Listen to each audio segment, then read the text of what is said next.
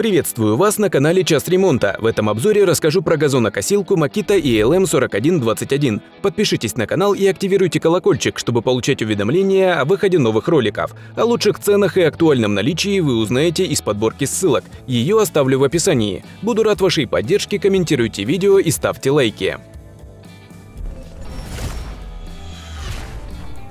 Выполнена в новом прочном корпусе и оснащена надежным электродвигателем. Режим работы – скашивание травы со сбором ее во вместительный травосборник мульчирование. Комбинированный травосборник прост в монтаже, демонтаже и очистке. Для контроля над степенью его заполнения в крышке имеется встроенный индикатор. Высота скашивания регулируется по семи ступеням посредством одного рычага. Ручка газонокосилки регулируется по высоте под рост пользователя. На время хранения или транспортировки ее можно сложить.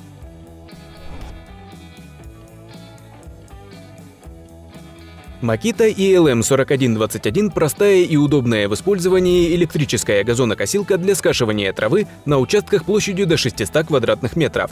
Для предотвращения случайного включения предусмотрена автоматическая блокировка рычага включения. Чтобы запустить машину, необходимо сначала нажать кнопку разблокировки, а затем зажать рычажной выключатель.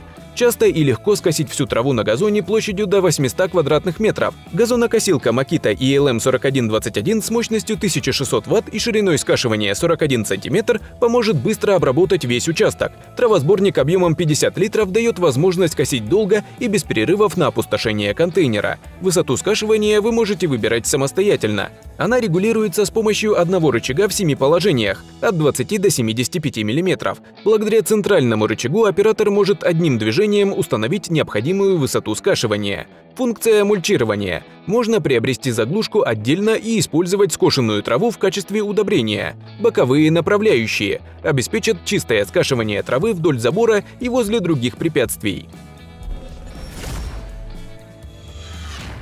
Проанализировав отзывы, я выделил основные негативные и позитивные моменты. Сейчас поделюсь с вами. Начну с отрицательных.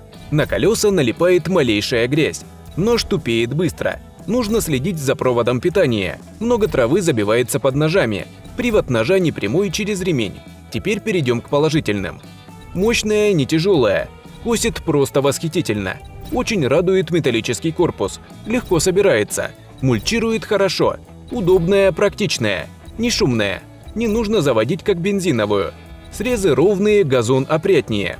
Обратная связь важна для меня, поэтому поддерживайте канал лайками и комментариями. Напоминаю, что ссылки на полные характеристики и выгодные цены оставлю в описании под видео. Чтобы не пропустить новый обзор, подписывайтесь на канал и нажимайте колокольчик. До скорой встречи на канале Час Ремонта.